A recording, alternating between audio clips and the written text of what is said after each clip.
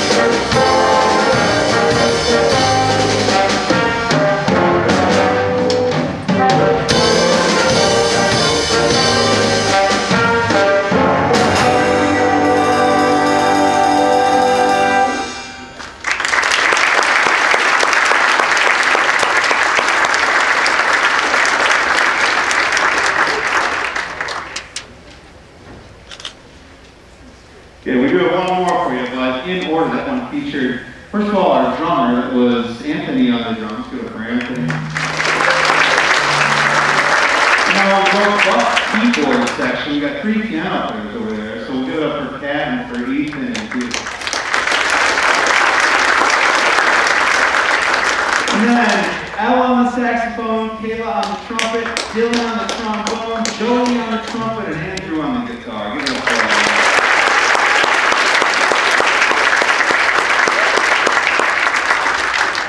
Uh, for our last number, we are bringing back one that we played in the fall, it's sort of fit into our Latin set, so we wanted to do it one more time for you.